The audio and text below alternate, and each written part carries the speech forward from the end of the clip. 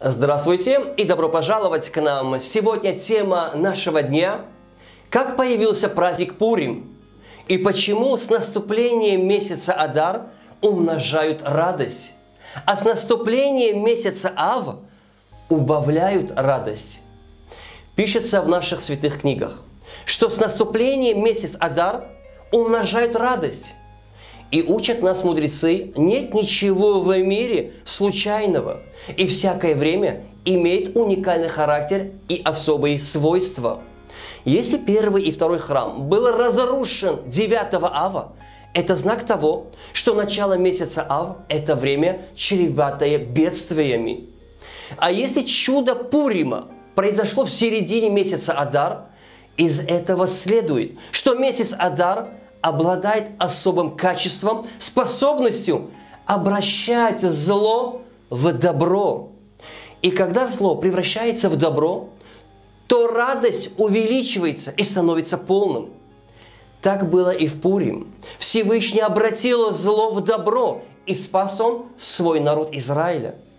И мы поняли, все, что есть в мире, даже зло, в конце концов обернется добром. Чем крепче будет наша вера, тем самоотверженнее мы станем изучать Тору, и вскоре настанет избавление. И всякое зло превратится в добро. А поскольку месяц Адар обладает особым свойством, это обращать зло в добро, то с наступлением месяца Адар умножают радость. Мудрецы дают еще один важный совет. Если еврей ведет чашбу или заключает сделку с иностранцем, если он заключает эту сделку в месяц Ав, то пусть избегает этого месяца и не заключает сделки, так как в это время успех отворачивается от евреев. Лучше всего вести подобные дела в месяц Адар, когда евреям улыбается удача. И вообще, как появился праздник Пурим? В середине 14 века до нашей эры самой могущественной державой в мире была Персидская империя. Она простиралась от Индии до Эфиопии и включала в себе также страну Израиля. Столица Персидской империи был город Сузы, это Шушан. И она была одновременно и главным центром еврейской общины.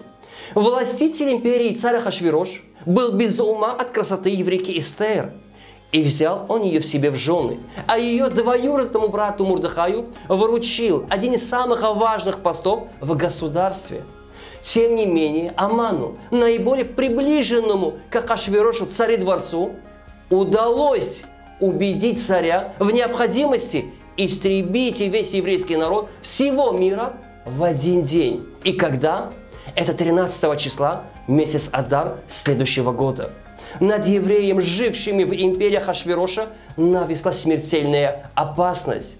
Но Всевышний по великой милости своей разрушил замыслы Амана и обратил их против него самого. В результате, по приказу Ахашвироша, Аман был казнен, а евреям было разрешено истребить своих врагов в назначенное время Амана. И это 13 числа месяц Адар – и теперь вторым после царя человеком в империи стал Мурдыхай.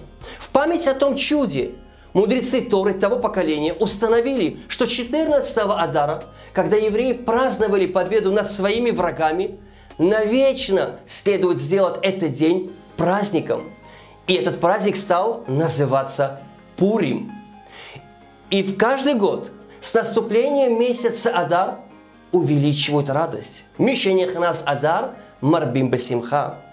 И когда в Иерусалиме стоял храм, в нем совершали жертвоприношения. И в месяц Адар каждый мужчина жертвовал половину шекеля для покупки общественных жертвоприношений. В память о том, принято в месяц Адар перед праздником Пурим давать особую цедаку, называющуюся Махацит Ашекель. Глава семьи дает махацита шекель за каждого члена семьи. И сумма махацита шекель на сегодняшний день это приблизительно 25 шекелей на каждого человека. Наиболее распространен обычай давать за детей махацита шекель до тех пор, пока они не обзаведутся собственной семьей. Спасибо, что были с нами. И с вами до следующего раза Даниэль Исраилов.